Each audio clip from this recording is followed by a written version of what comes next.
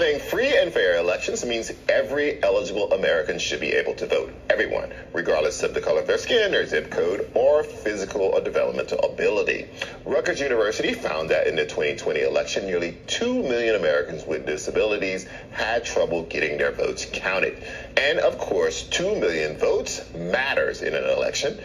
In order to make sure that every vote is counted, the American Association of People with Disabilities has declared this Disability Voting Rights Week.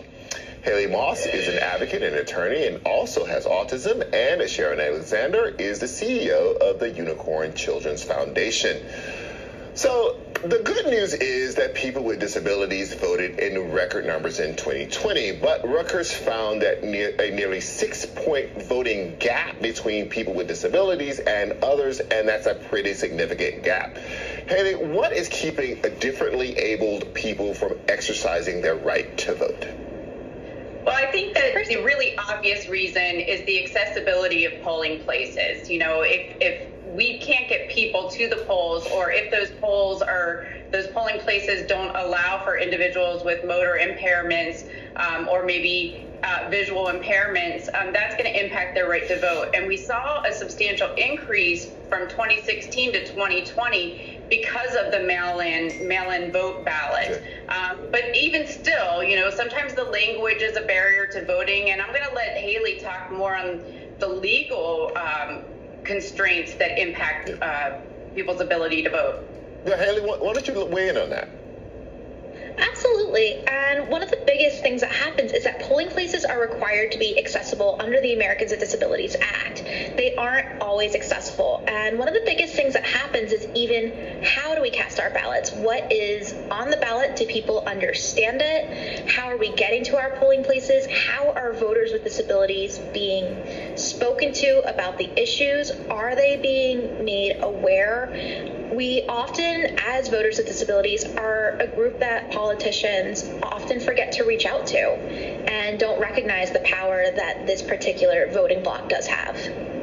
So, Sharon, a state Supreme Court decision in Wisconsin really brought voting rights for the differently able into the spotlight. The court ruled that the only voters uh, only voters themselves could return their ballots in person and unsupervised ballot drop boxes were illegal.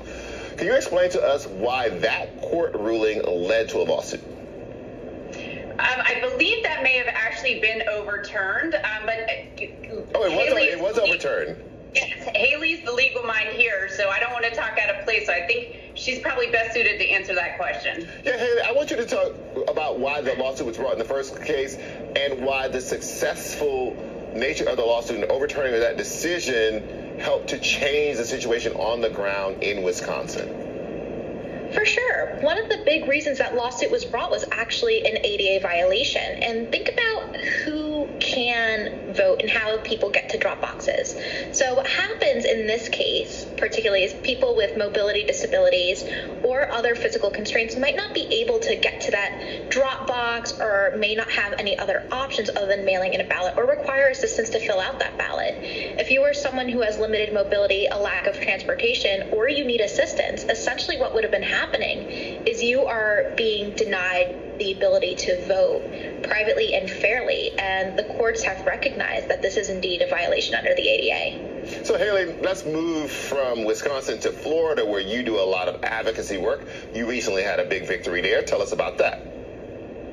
Absolutely. So, what I'm hoping with Florida, at least for me, one of the big victories is seeing more people with disabilities that are engaging in the civic process. And I know for me, I always find myself saying as an attorney how much privilege that I truly have to occupy as an autistic person, realizing that there's different ways that we're able to get things to be more accessible in order to keep bringing stories like mine to the forefront and making sure that people with disabilities were viewed as capable. We are getting registered to vote. We are being engaged in the political process at every single turn and not just on disability specific issues. I know that both of you do advocacy work that extends beyond just voting rights. Sharon, Unicorn Children's Foundation found that 82% of young adults with developmental delays in Florida are unemployed or underemployed despite their willingness and ability to work. That increases the odds that they will live in poverty and increases the risk of homelessness. So tell us about what you're doing to help change that dynamic.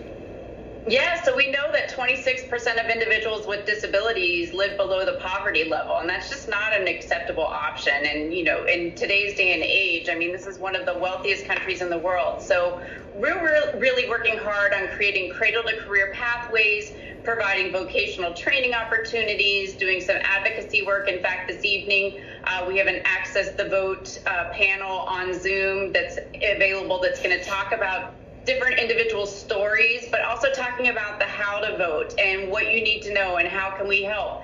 Next week, we're holding a national uh, voter registration day. People can come in on site to an accessible building where they'll be able to register. We'll have support there for them. Um, but really looking at the broad spectrum, you know, one in five kids are being diagnosed with a developmental or learning disorder. So if you are not personally impacted or have a family member that's impacted, you certainly know somebody who does. So we not, we really need to start um, addressing the stereotypes and the myths because, as you can see with Haley, um, you know, the future is limitless if we're given the right opportunities. Haley, let's get to that limitless future. You are the first openly autistic lawyer in Florida. You are a success story.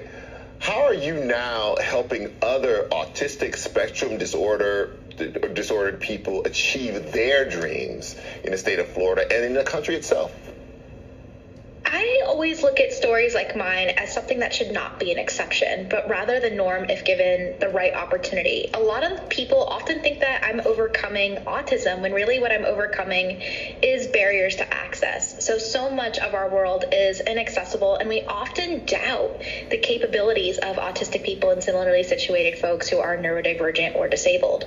So, what I look at my work is doing is hopefully trying to really spark that conversation so we're having it more than just inside of an echo chamber of our own communities and really investing in people with disabilities in entering the workforce, in having their existing workforces being more diverse, just doing whatever I can to hopefully make this world a better place. I still owe a lot to the generations that came before me. I was born after the Americans with Disabilities Act was passed and hoping to do more for who comes next so they don't have to face the same barriers, I think is really the legacy that I would like to be able to leave.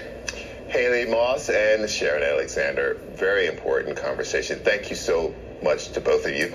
And that's it for this edition of Symone. I'm Charles Blow in for Symone.